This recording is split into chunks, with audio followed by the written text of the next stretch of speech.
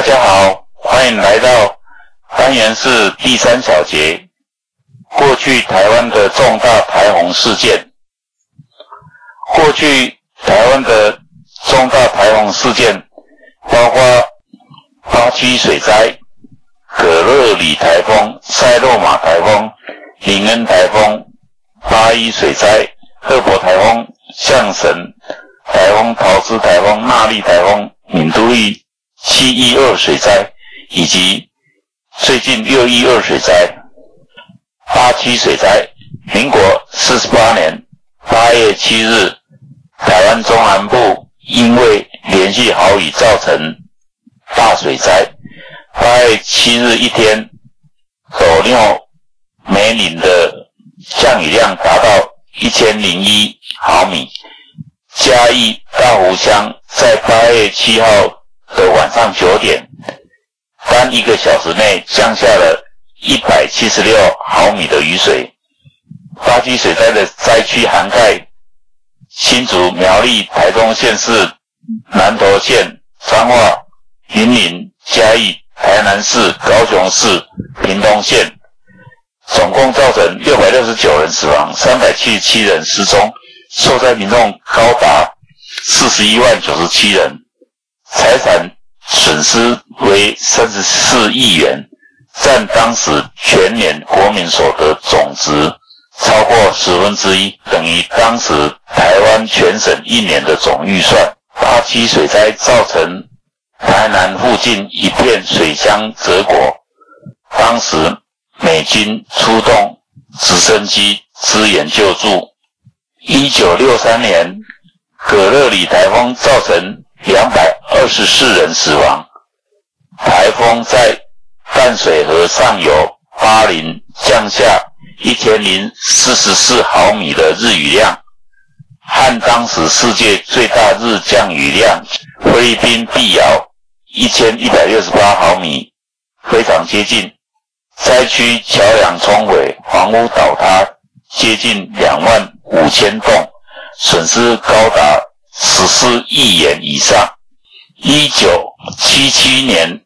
台湾台风史上路线最怪异的台风，是中央气象局归列的第七类台风——中度台风塞洛马。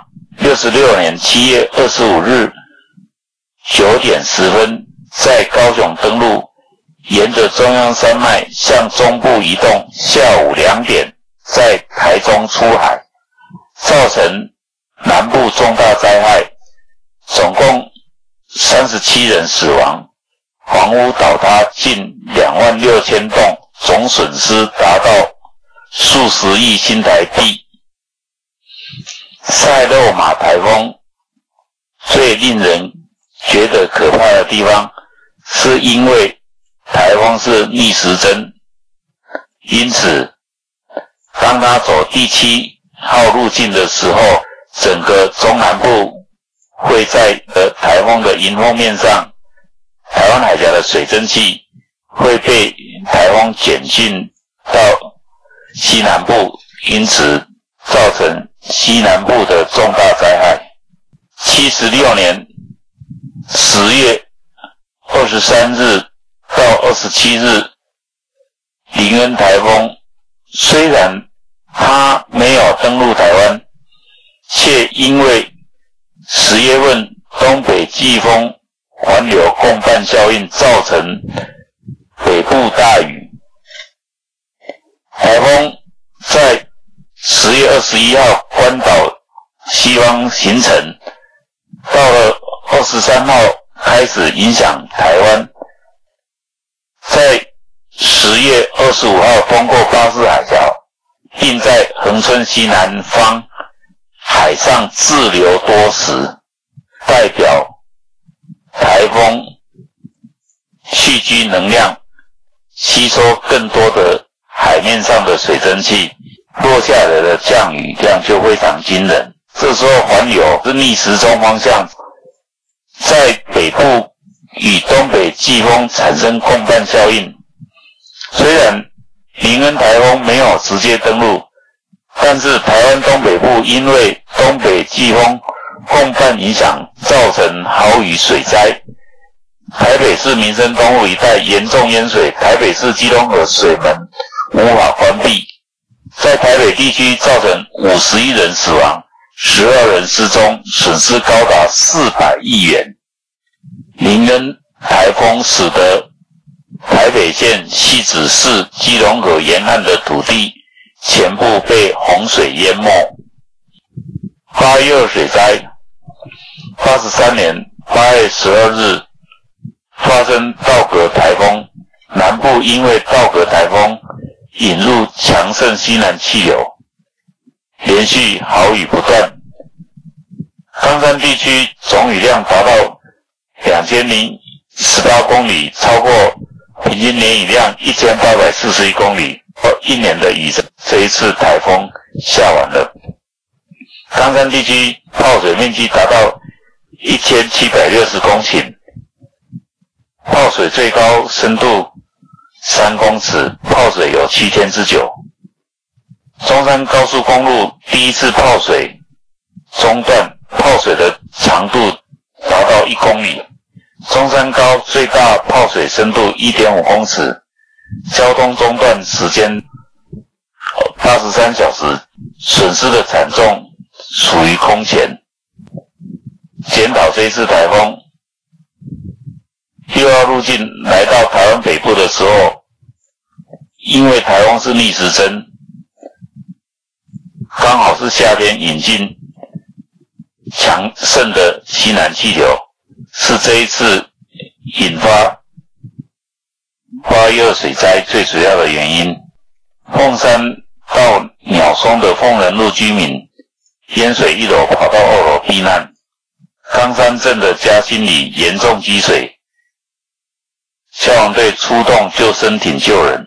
强烈台风赫伯台风于民国八十五年七月三十一日。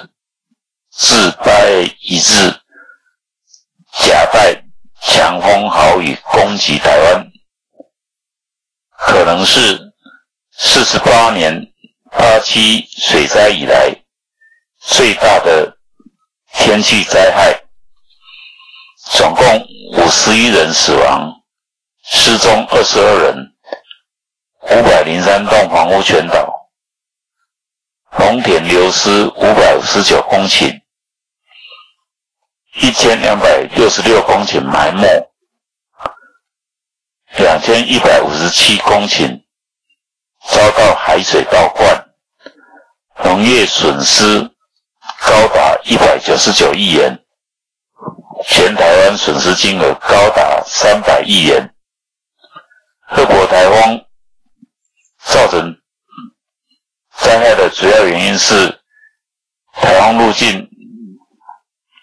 是二号路径，因为台湾是逆时针，从台北、桃园、新竹、苗栗、台中、彰化、云林、嘉义、台南、高雄、屏东无一幸免。各国台风轰击台湾时，台北板桥大安区中正路及环河路。消防队以救生艇救人。八十九年十月三十一日，象神台风发生在秋天秋台标准的秋台，因台风外围环流加上东北季风双重影响，造成大水灾。北部、东半部、恒春半岛、中南部山区降下豪雨，引发土石流。台北县、台北市、基隆市、宜兰县部分地区积水严重。北部淡水河流域河川水位超过警戒线，造成淹水，多人死亡。新加坡航空零零六号班机起飞时能见度不佳，飞机失事罹难。不包括新航事故，象神总计造成台湾地区死亡六十四人，失踪二十五人，农民渔牧业损失约新台币三十五亿八千八百万元。象神台风属于中央气象局的六号路径。当台风中心来到宜兰外海的时候，由于逆时针的环流，加上东北季风，东北季风空盘效应，是这一次造成豪雨的主要原因之一。象神台风造成细子镇的大淹水。民国九十年七月三十日，桃之台风空袭台湾，连续十多小时的豪雨带来惨重的生命财产损失，死亡一百零三人，一百一十一人失踪，造成农业损失惨重。高速公路由北到南有三个地段淹水严重，跨过。浊水溪以及跨过高平溪的重要桥梁变形，桥基掏空，宣布封闭。桃之台风的行经路径，原先预判是走三号路径，后来偏北变成二号路径。苗栗新竹岸出海时，当台风中心。在新竹外海，此时逆时针的环流引进西南气流，南部横跨浊水溪跟高平溪的许多桥梁桥基被冲断，因此封闭。民国九十年九月十七日，那一台风重重的攻击了北台湾。台风在台湾的东北方附近海域形成，由于受到大陆高压及太平洋高压的相互牵制，在高压带之间打转自流的台风，在海面上有充裕的时间吸住了海上的水汽，以相当诡异罕见的移动路径，从台湾北部山标角登陆。登陆之后，台风夹带的暴风雨在陆地到处流转，移动速度缓慢，打破了在台湾本岛滞留时间的记录，滞留四十九个小时，造成全省许多县市平地、金华都会地区相当严重的淹水，山坡地土石崩塌灾情。那一台风。九十年的九月七号，在台湾东北方日本有九那霸附近海域生成。八号、九号、十号、十一号、九月十二号、十三号、九月十四号，在这里滞留打转，主要原因是大陆高压以及太平洋高压互相消长。那里台风的中心在两个高压之间打转滞留，两个高压中间我们称为安行场。到了十五号往台湾方向移动，十六号来到三刀角附近登陆，穿心穿过台湾的中央山脉。九月十七号、九月十八号、九月十九号从。高雄、台南出海，因为行进速度缓慢，加上逆时钟的环流，将太平洋以及台湾海峡的水汽全部灌到整个台湾。从十六号北部受到影响，十七号中南部受到影响，十八号整个台湾西部最热闹的都市都受到哈利台风的猛烈无情的攻击。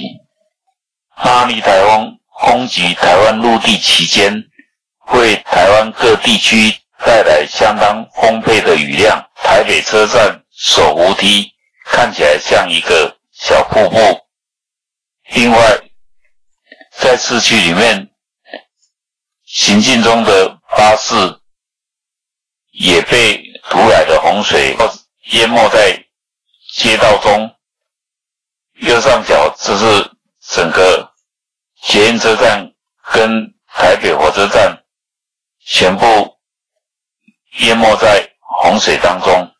民国九十三年六月二十三日，闽都利台风在关岛西北方海面形成，以偏西方向移动。二十八日移动缓慢，三十日转北朝台湾东部移动。台风中心在七月一日晚上十点四十分，在花莲市南方二十公里处登陆。七月二号，由淡水附近进入台湾海峡，以北北西方向进入东海。经过四天，变为温带气旋。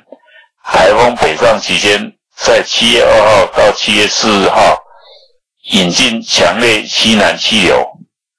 伴随而来的暴雨，对台湾地区造成严重的灾害。闽都利台风在九十三年六月二十三号在关岛西北方海面形成，以偏西方行动，到了二十八日，移动速度变慢，到了三十日，受到太平洋。